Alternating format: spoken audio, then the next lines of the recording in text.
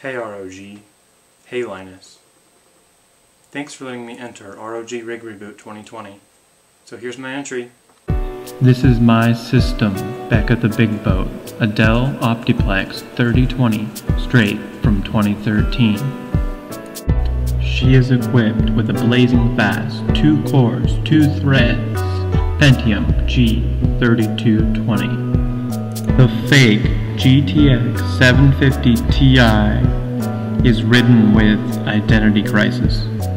Thanks to the hard drive Becka has bred. Esports? Becka's not interested.